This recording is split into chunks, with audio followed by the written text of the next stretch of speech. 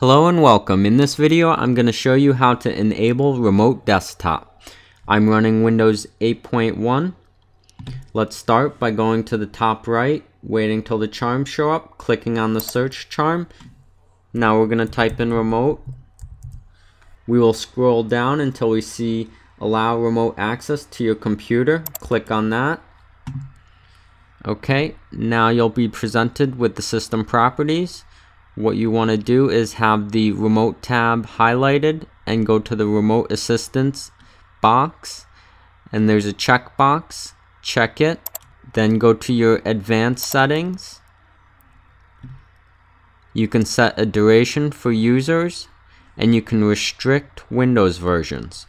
Once you have the options that you want, click OK. Now click apply and click OK.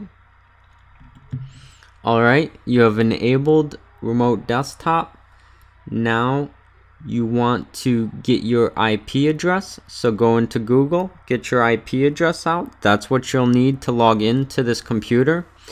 And you will also need port forwarding on this computer. So if you don't have that, then please go to my tutorial that I have linked to this video.